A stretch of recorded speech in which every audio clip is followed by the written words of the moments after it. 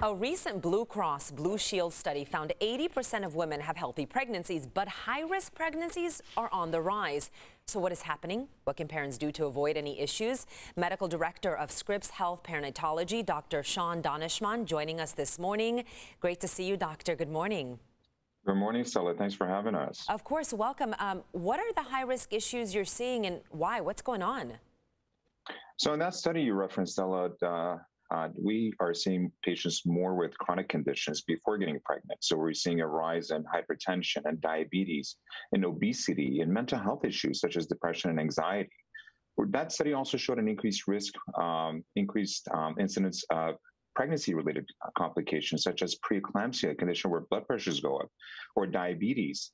Uh, so all around, complications have increased, but um, again, a lot of it is because of chronic health issues pre, you know, prior to getting pregnant. And these are things uh, we can certainly address. Could this be related to the fact that maybe uh, more women are having kids later on in life? Uh, there are certainly more, you know, more women who are older are getting uh, are uh, conceiving now. Uh, at the same time, though, I think just um, we're not as healthy, Stella, as we need to be, mm. uh, and we're not very good in this uh, in this country, honestly, in regards to uh, taking preventative measures. We're not good with prevention. We're good with uh, addressing diseases, and kind of that's the the approach that we need to take. So, you know, with Scripps Perinatology coming in, it's a system-wide program, as you know. Uh, we wanted to make sure first we can take care of the patients that need our assistance. So building our operations team, bringing in the experts, you know, the staff, um, and now starting to spread our wings by collaborating with other colleagues, our OBGYN colleagues, you know, community doctors, and be able to provide preventative programs, right? We want to make sure that a mom who gets pregnant, this is such an important time in one's life, one of the one of the most important times in one's life, right? You know, having your family. Uh, and women will do anything for the children. So we want to make sure, again, if you're overweight, reduce that weight will help you.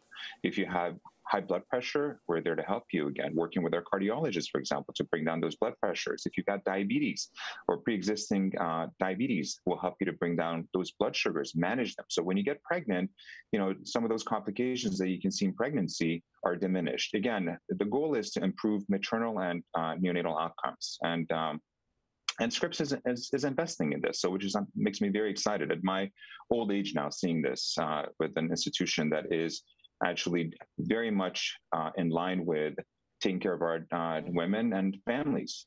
Well, I beg to differ. You're not old, um, but thank you for that information. It's very, you, it's very helpful. So, uh, from what I'm hearing, you're saying is, you know, for mothers out there who are just thinking about, you know, they want another child or first child, whatever, start having that conversation with your doctor, right?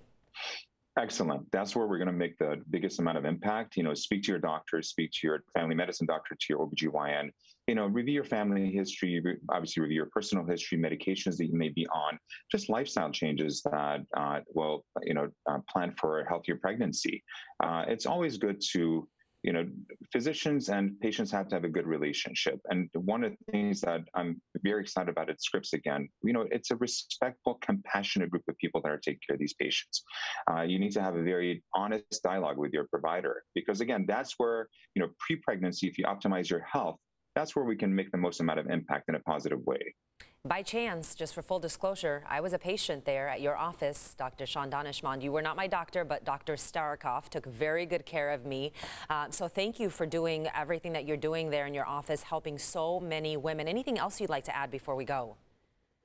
No, these are exciting times. There are a lot of opportunities. We're excited to be, uh, you know, helping our fellow uh, women and families. As you know, Stella, women are the CEOs of our communities. And again, I always remind yes. everyone, including myself, the bond between a mother and a child is something that no one can ever explain. So, you know, we're here, we're dedicated to taking care of our patients, our high risk patients. Uh, we've got an amazing team of OBGYNs, you know, midwives, family practitioners.